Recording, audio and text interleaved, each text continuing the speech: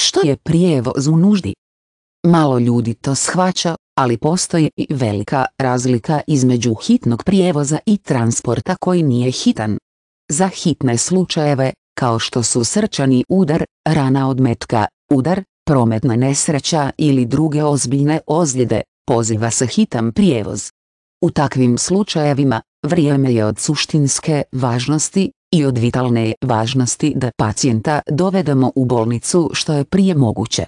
Prijevoz u slučaju nužde se događa kada se pacijent prevozi s jednog mjesta na drugo bez prekomjerne brzine i bez svjetala za slučaj nužde i sirena tijekom prijevoza. U takvim slučajevima, brzina kojom pacijent dolazi nije toliko važna. Prijevoz u slučaju nužde uključuje različite scenarije. Na primjer, ako se pacijent ne može kretati ili voziti na vlastitu, onda on ili ona mogu zatražiti medicinski prijevoz koji nije hitan i od kuće do liječnika. Mnogi medicinski transporti koji nisu hitni će dovesti pacijenta na njegov ili njezin liječnički pregled svaki dan, sve dok je ured relativno blizu mjesta na kojem pacijent živi. Ove usluge prijevoza također će dovesti pacijente do specijalista, sve dok pacijent ima upnicu od svog liječnika. Većina prijevoznih tvrtki koje nisu u hitnim slučajevima moraju imati prijevoz zakazan ponoć unaprijed. Ove vrste prijevoza mogu biti pokrivene vladinim uslugama, kao što je Medicaid u sadu privatno osiguranje često ne pokriva medicinski prijevoz koji nije hitan. Ako pacijent pozove na prijevoz koji nije hitan kada se može sam prevesti na sastanak bez pomoći, vjerojatno je da ga hitna pomoć neće pokupiti, a osiguranje neće platiti prijevoz.